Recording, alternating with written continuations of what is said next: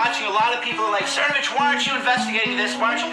The thing is, because of my reputation now as one of the world's greatest journalists, I have to be a little bit more careful before I put out.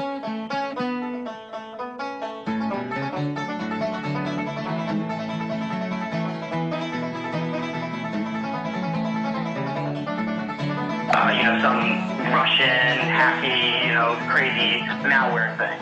Yeah, I mean that. What I've always thought is that you know, if you applied Occam's razor, it would actually be more.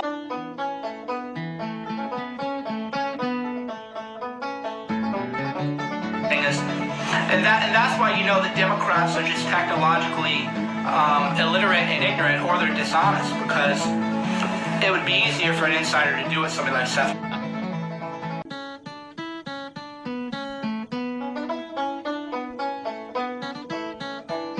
Occam's razor.